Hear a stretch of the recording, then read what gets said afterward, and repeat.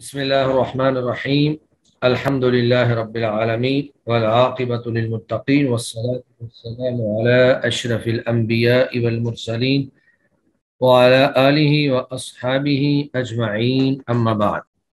हमारा चौथा सेमेस्टर गुजर चुका है, अल्हम्दुलिल्लाह। तो अब आप लोग पाँचवें सेमेस्टर में पहुँच चुके हैं। पाँचवें सेमेस्टर में बुनियादी तौर पर जो है हमारा सिलेबस ये बल्कि पाँचवें से आगे लेकर आखिर तक। ये है ग्रामर का इजरा।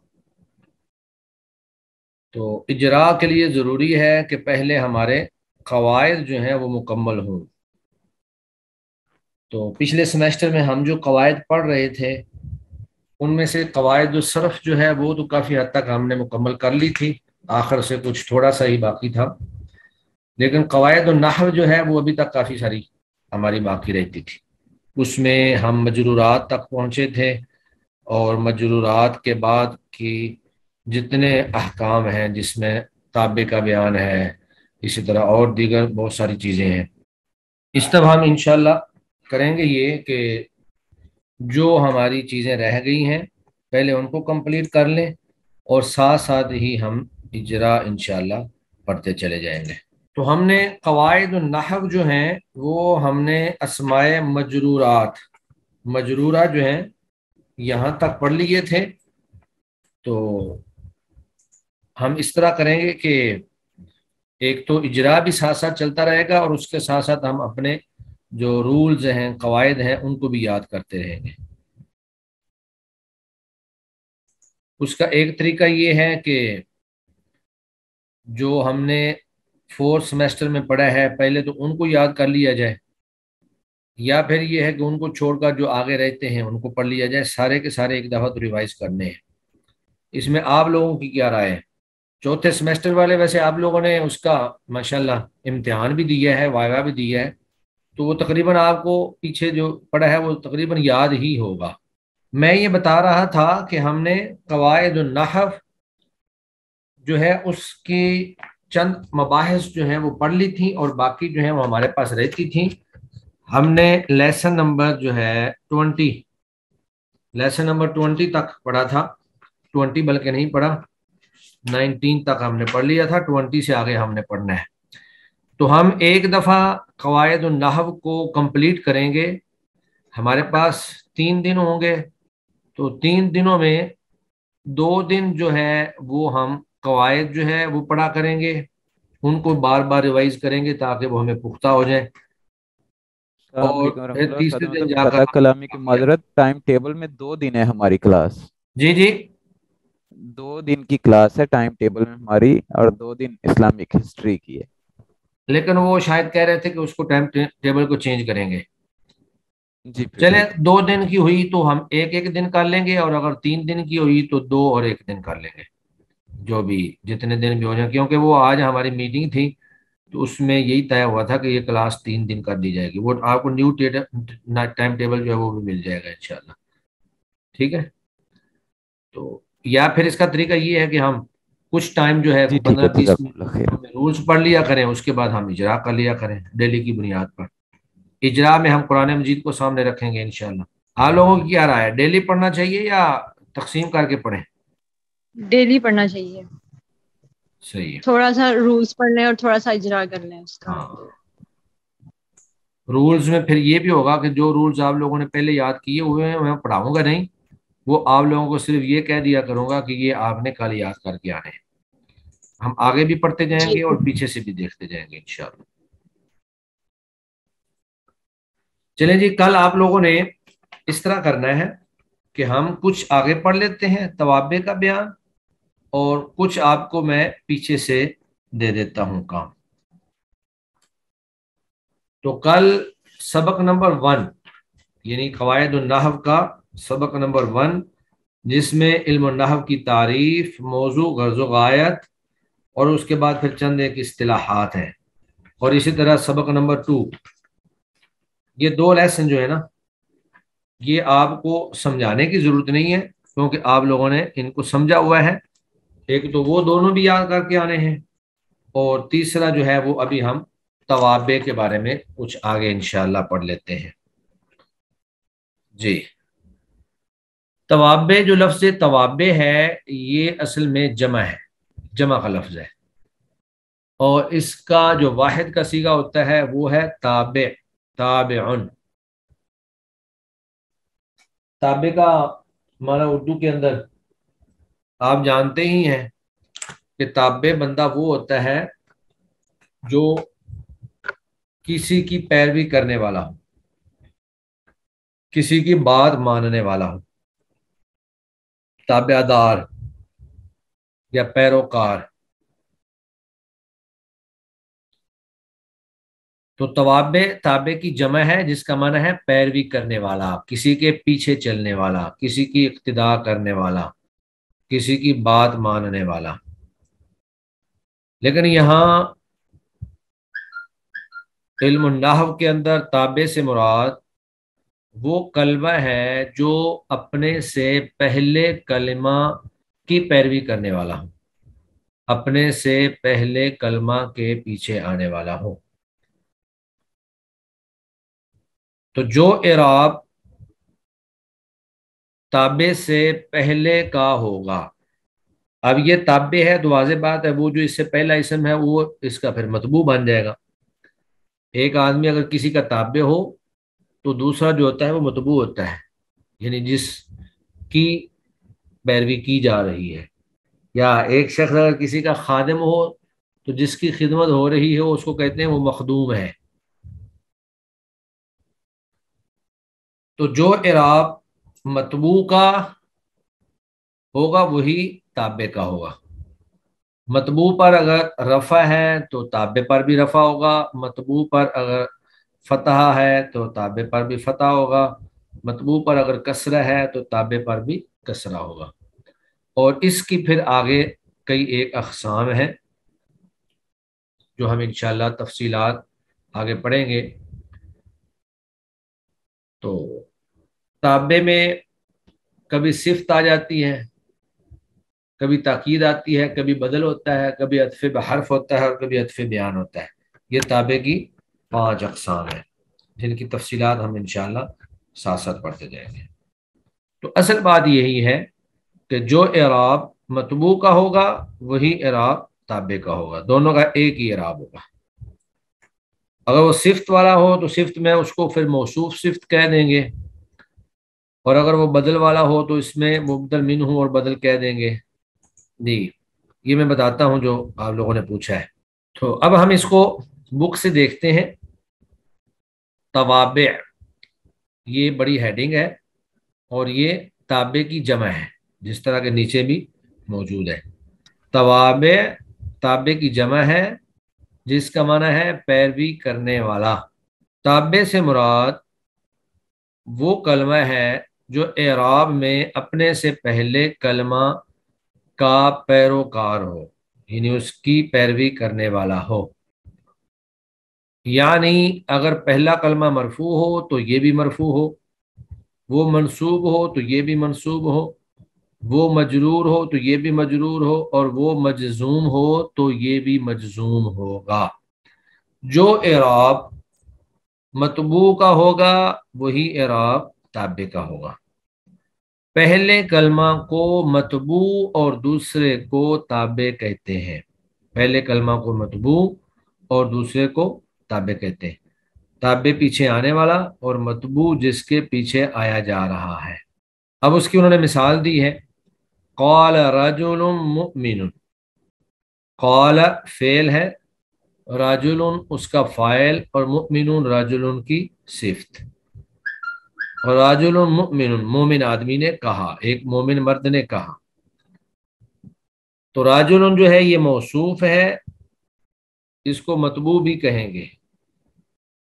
और मुमिन जो है, ये ताबे है, इसको सिफ्त भी कहेंगे। यानी दोनों चीज़ें ही हैं। ताबे चूँकि एक बड़ी हेडिंग है तो बाकी सिफ्त जो है, उसकी एक किस्म है। कौल रजुल मुमिन मोमिन मर्द ने कहा। तो राजुल जो है, ये चूँकि फ़ाइल था, फ़ाइल होने की वजह से ये मरफू था, लिहाजा इसके ऊपर रफ़ा आ गया, काला राजुल अब मुमिन जो है, ये मरफू राजुल की वजह से है, क्योंकि राजुल जो है मतबू है और मुमिन उसका ताबे है। तो जो इराब मुमिन राजुल का होना था, बिल्कुल वही इराब जो है, वो मुमिन का है। होना है। तो काला राजुल मुमिन आदमी ने कहा। अब इसमें मिसाल है, इस मिसाल में राजुल मतबू है और मुमिन ये उसका ताबे है। राजुल काला फेल का फ़ायल होने की वजह से मरफू है, इसलिए इसका ताबे मुमिन भी मरफू है। फिर आगे ये है कि ताबे की पाँच अकसाम है। पाँच किस्में हैं जो ताबे के मुताबिक चलती हैं। उनमें से पहली सिफ्त है, यानी ताबे जो है वो सिफ्त होगा। अब वाज बात है वो जिस चीज़ की सिफ्त होगा, वो मौसूफ बनेगा फिर। जैसे ऊपर राजुल मोमिन में है। दूसरा है ताकीद। ताकीद में ये होता है कि पहली चीज़ की अच्छाई या बुराई को पुख्ता जो है, किसी चीज़ को पुख्ता करना। जैसे जा अल कौम कुल्लुहुम, कौम सारी की सारी आ गई। तो जिसकी ताकीद हो, उसको फिर कहते हैं मुक्कद यानी उसकी ताकीद की जा रही है। तो गोया के मतबू जो है, उसको मुक्कद कहा जाएगा और ताबे को ताकीद कहा जाएगा। सिफ्त के अंदर मतबू को मौसूफ कहा जाएगा और ताबे को उसकी सिफ्त कहा जाएगा। इसी तरह एक चीज़ होती है बदल।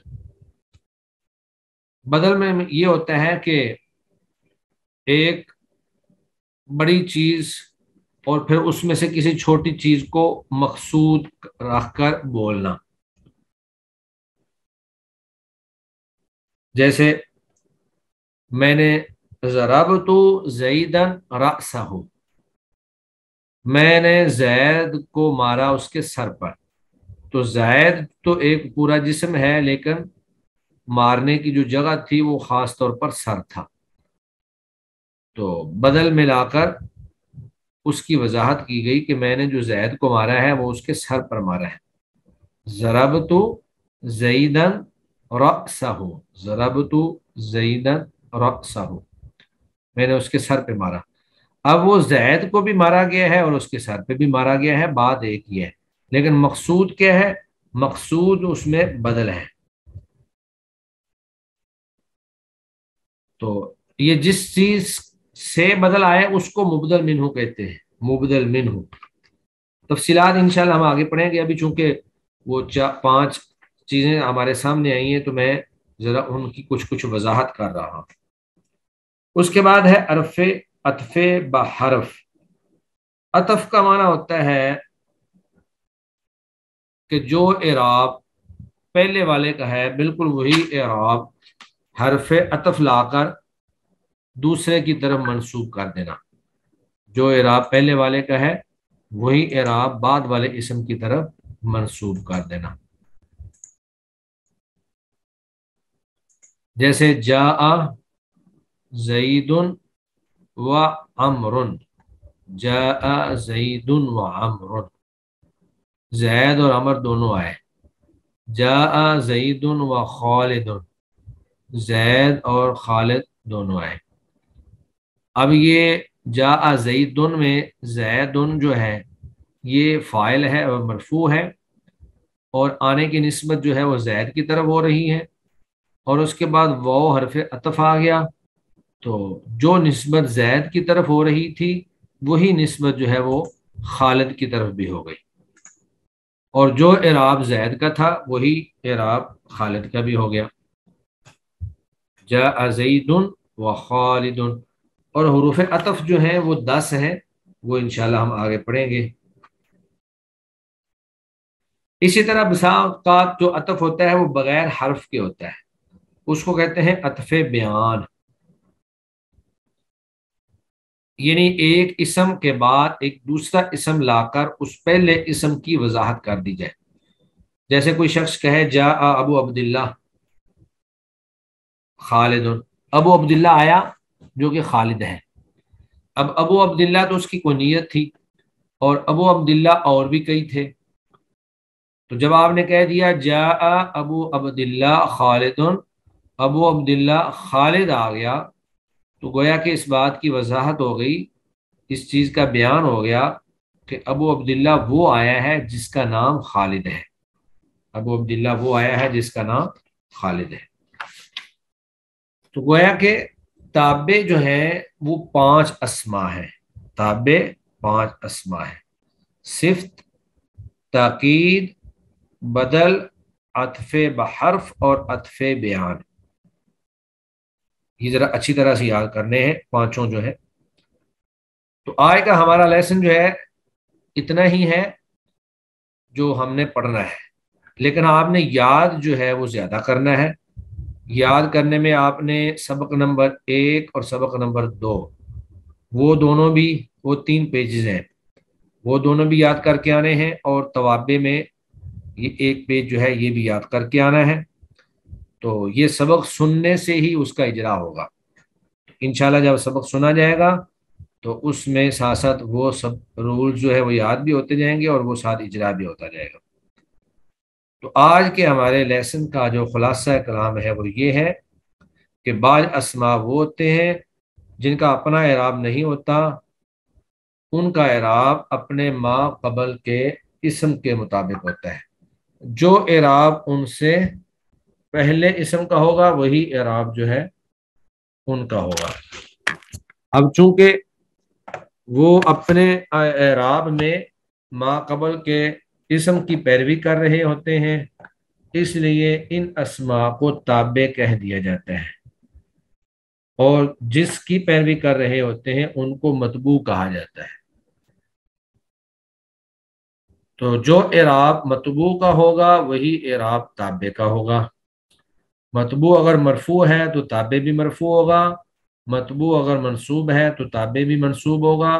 मतबू अगर मजरूर या मजजूम है तो ताबे भी मजरूर या मजजूम होगा। और उसकी मिसाल, कौल राजुलमिन कौल राजुलमिन मोमिन बंदे ने कहा, मोमिन मर्द ने कहा। तो इसमें राजुल जो है ये मौसूफ है और मुमिन जो है ये उसकी सिफत है।